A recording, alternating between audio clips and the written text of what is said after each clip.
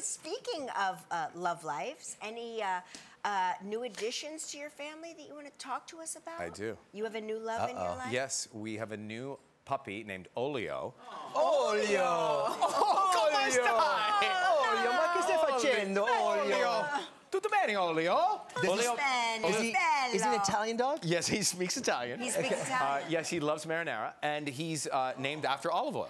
The color of olive oil. And look at how they are.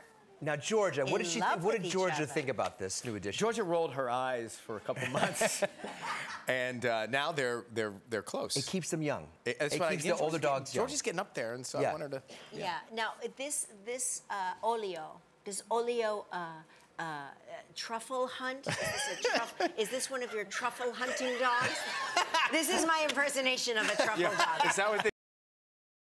Olio is not. I, I haven't entered Olio into the uh, school yet, or the training up for But that you- yet. But, but I, you I don't know. I, you know, language school, truffle hunting. You know. all- Does all of that. Olio speak English at all? Um, dogs don't speak. Well, they understand.